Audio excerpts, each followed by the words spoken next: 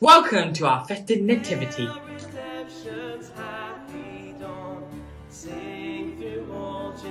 Now let's meet our friends who are going to help us journey through our very festive Christmas story. We have our angelic angel, La la la. the super shepherd boy, While shepherds watch their flocks by night. the marvelous Mary, Hello, I'm Mary, just in case you're wondering. Yes, I did know. our main character, the fantastic festive Fred, I love Christmas. the mega mom. He's not joking. He really does love Christmas. He's a carpenter, so he must be feeling top of the world. It's the joyful Joseph. I am Joseph. I do lots of versions. Are we sitting comfortably? Are we feeling festive? We are ready to find out how festive Fred is and what's so great about the greatest gift he finds. But first, let's pray. O wisdom of our God Most High, guiding creation with power and love, come to teach us the path of knowledge. Amen. One day there lived a boy who loved Christmas. I mean, he loved it with a capital L O V E. He loved Christmas so much he'd sing jingle bells in the shower, eat mince pies for breakfast, and watch Christmas movies in the summer holidays. Why do you love Christmas so much, Fred? sighed Mum. The frustration of the name Fred was beginning to stick. It's the best, Mum.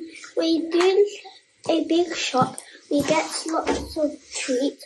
Dad drives for ages to get the biggest tree. We put on our pajamas and watch festive films too. And on Christmas Day, there's our gifts just for me. Said Fred as he waved around his Christmas list and pointed to the supercharged Max 3000.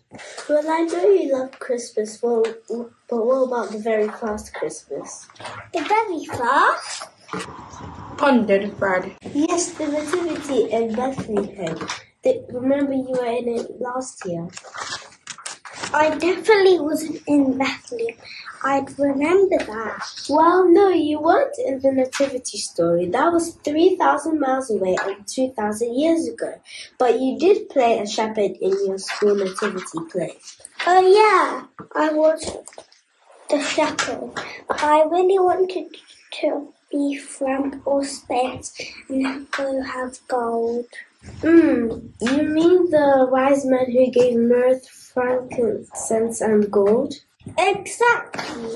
Said Fred as he thought about the supercharged Max 3000, but in gold. You know there's more th- to the story than gifts, Fred. In fact, it's a story about the greatest gift. Picture the scene, Fred. There are shepherds watching the flocks by night. And his mum began to tell the story. Fred was getting a little snoozy. He closed his eyes to picture of the shepherds and their sheep. One by one, he started counting them and then O leader of the house of Israel, giver of the law to Moses on Sinai, come to rescue us with your mighty power. 2,000 years ago, somewhere near Bethlehem. Ow, it's my head, said Fred as all of a sudden he awoke.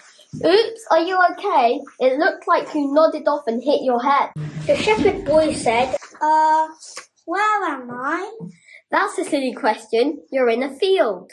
But what field? Asked Fred, wondering if he went wandering into his neighbour's field again. Only the bestest field with the bestest sheep in the whole of Bethlehem. Ba ba Bethlehem? Fumbled a flabbergasted Fred as he was pretty sure he was sat at home in Mill Hill five seconds ago. Wait, you're actually a sh- sh- shepherd from a na- na- nativity? Stuttered Fred, squeezing the boy's arm to make sure he was real. Get off of me! Fred couldn't believe it. He was 3,000 miles and 2,000 years away from home. But before Fred could think back to school nativity play and remember what happened next, there appeared an angel in the sky. Root of Jesse's stem, sign of God's love for all his people, come to save us without delay. Glory to God! Glory to God!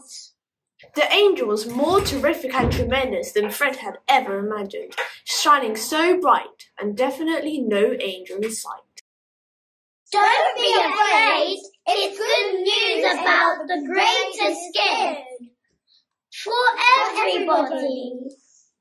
The angel wasn't talking about the supercharged Max 3000. He was talking about a newborn baby, God's own son, and the greatest gift ever. Don't be afraid. Someone who's come to rescue us from the messy things that hurt us and to forgive us for the mean things we do to others. It's in you. Suddenly, the angel was joined by what seemed like a bajillion angels, all singing in perfect harmony. Glory to God. Fred thought Chi Chi's solo of Silent Night was good, but this was the greatest sound he had ever heard. Glory to God. Glory to God. But it wasn't anywhere near as good as what was waiting for them in a manger. Fred sped through the mud, jumped over rocks, and slipped over streams until they finally arrived at the downstairs part of the house. Now Fred and the shepherd boy have arrived at the old stone house and we're about to go in. Nervously, Fred and the shepherd boy opened the door, and before their very eyes were Mary, Joseph, and precious baby Jesus tucked in tight, resting his head on a pillow of straw. Well, hello, you two. Said Mary with a smile beaming from ear to ear. I think somebody wants to say hello. Added Joseph, nodding to the boys to get a closer look of Jesus. And as they approached, they saw the baby Jesus. Whispered the boys as they both knelt before Jesus in pure wonder. O Key of David, opening the gates of God's eternal kingdom, come and free the prisoners of darkness. Amen. I didn't know, but you really are the most special somebody, aren't you? He's the greatest gift ever. Would you like to hold him? Asked Mary. Me? No way. I'm too messy to hold the greatest gift in history. He's not afraid of messy things because he, he came to fix our messy things. Then Fred and the shepherd remembered what the angel had said. Jesus came to rescue us from the messy things that hurt us and forgive us for the mean things we do to others. But how? He's just a baby. Not just any baby. He's God's own son. And one day he'll grow up and show us how. But I don't feel like I deserve it. Then Fred and the shepherd remembered what the angel had said. Jesus came to rescue us from the messy things that hurt us and forgive us for the mean things we do to others. Well, it wouldn't be a gift. She did. Would it? Said Joseph with a smile. Wow, that's way better than the supercharged 3000. Well, I can't keep it to myself any longer. The shepherd boy said as he leapt to his feet, hopped past the manger and sped out through the creaky old door, telling everyone about the greatest gift ever. Wait for me! Said Fred as he hopped and sped, but then tripped by the door and fell on his head. O radiant dawn, splendour of eternal light, Sun of justice, come and shine on those who dwell in the darkness and in the shadow of death. Amen. All of a sudden, Fred opened his eyes and he was back home as Mom was just finishing the story. And that's the story of the very first Christmas. The end. Wow, Mom, that was the best thing ever. O King of all nations and keystone of the church, come and save man whom you formed from the dust. Amen. Have you bumped your head, Fred? Um, why did you ask, Mum? Well, I know I tell good stories, but this time you were captivated. I think someone might just be getting the supercharged Max 3000 after all. Thanks, Mum. That would be brilliant. But I can think of an even better gift this Christmas. The one who came to rescue us from our messy things. In fact, he's the greatest gift ever. Said Fred, let's pray together. Whether you're watching online or you're here in our church building today, I hope that you've enjoyed the East Church Christmas Nativity. It has been great to celebrate the story together in this way. And you might have noticed that there were two parts. First of all, we had our kids and young people giving some of the best acting performances I think I have seen. Thank you so much to everyone who took part. You've really helped us remember the story behind the celebration. The second part was a series of prayers read out by some of our older church members.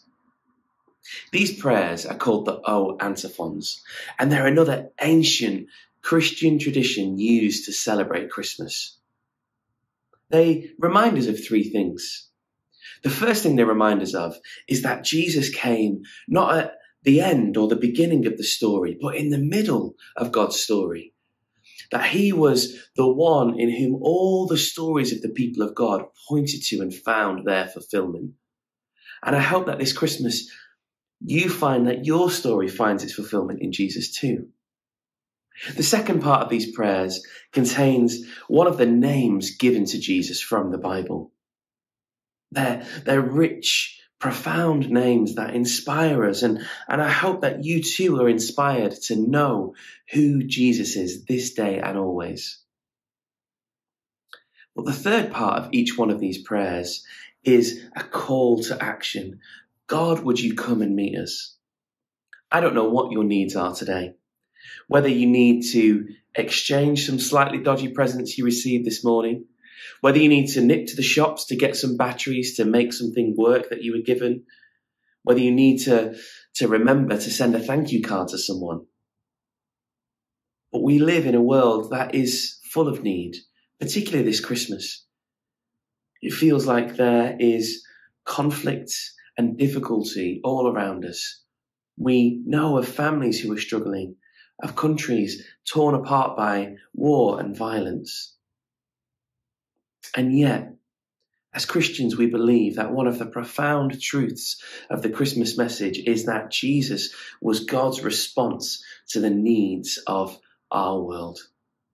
And so each of the O oh, antiphon prayers, these, these great ancient prayers of the church, carries with it a call to God to come and change us. And that is my prayer for you this year. That you wouldn't just celebrate Christmas, but as you remember that Jesus came to show you the love of God, you would be changed by it too. Our final prayer is this.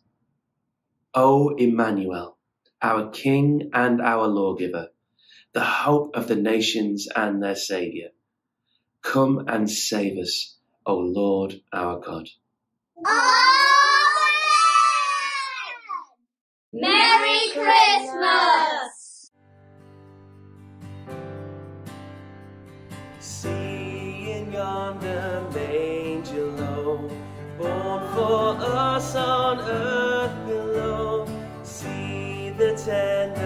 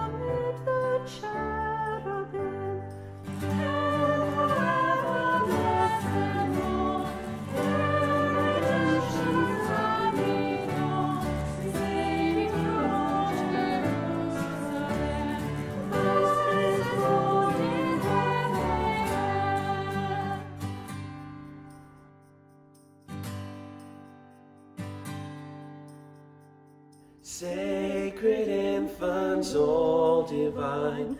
What a tender love was thine, thus to come from highest bliss down to such a world as this. Hail, thou ever blessed one, hail redemption's happy dawn. Sing